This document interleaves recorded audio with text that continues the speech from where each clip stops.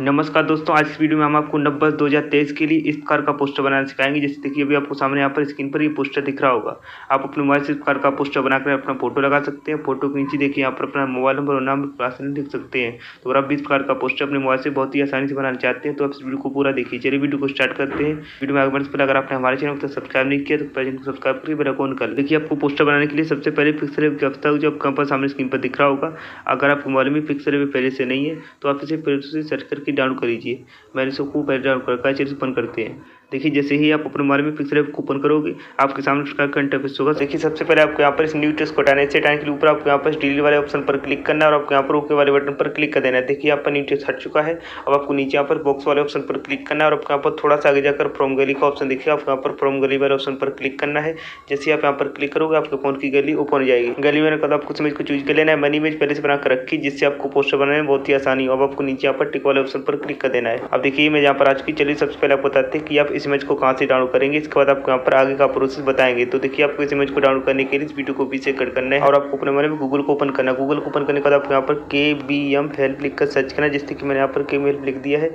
प्रकार से आपको यहाँ पर के हेल्प लिख कर सर्च करना है और आपको इसी पहली वाली वेबसाइट पर क्लिक कर देना है आप देखिए यहाँ पर ये वेबसाइट पहुँच के आपको यहाँ पर दिख रहा होगा इस वेबसाइट में आपको यहाँ पर सभी तरीके के पोस्टर मिल जाते हैं आप यहाँ पर डाउनलोड कर सकते हैं अब देखिए आपको उस इमेज को डाउनलोड करने के लिए यहाँ पर सर्च बार पर क्लिक करना है सर्च बार पर क्लिक करने के बाद आपको यहाँ पर सर्च बार में तीन सौ इकतीस पोस्टर लिखकर सर्च करना है जिससे कि मैंने यहाँ पर तीन सौ इकतीस पोस्टर लिख दिया है इस प्रकार से आपको यहाँ पर ठीक से देख लेना है तीन सौ इकतीस पोस्टर लिखकर यहाँ पर सर्च के बटन पर क्लिक करना है देखिए जैसे आप वहाँ पर तीन सौ इकतीस पोस्टर लिखकर सर्च करोगे आपको यहाँ पर लिखा दिख जाएगा नया साल दो हज़ार बाईस का बैनर कैसे बना आपको इसके ऊपर क्लिक कर देना है अब देखिए सिंपली आपको यहाँ पर नीचे रहना जैसे कि मैं यहाँ नीचे जाना उस प्रकार से आपको यहाँ पर नीचे जाना है जैसे आप यहाँ पर नीचे जाओगे आपको देखिए यहाँ पर डाउनलोड मिल जाएगी देखिए आपको यहाँ पर लिखा भी दिख रहा होगा पोस्टर का बैकग्राउंड डाउनलोड करने के लिए यहाँ पर क्लिक करें लेकिन अभी आपको यहाँ पर सेकंडें चलती दिख रही होंगी जैसे यहाँ पर सेकंड खत्म होगी आपको यहाँ पर डाउनलोड का बटन मिल जाएगा जैसे यहाँ पर सेकेंड खत्म हुई डाउनलोड का बटन आ चुका है अब देखिए फिर से आपको यहीं पर आ जाए जैसे कि फिर से मैं यहीं पर आ चुका हूँ इसके ऊपर आपको यहाँ पर प्रेस वाले ऑप्शन पर क्लिक करना है और आपको यहाँ पर फ्रॉम गली का ऑप्शन देखिए आपको यहाँ पर फ्रॉम गली वाले ऑप्शन पर क्लिक करना है गली में आने का अपना जो फ़ोटो पोस्टर में लगाना चाहते हो फ़ोटो को सेट कर लीजिए। देखिए मैं यहाँ पर फ़ोटो को सेट कर लिया है।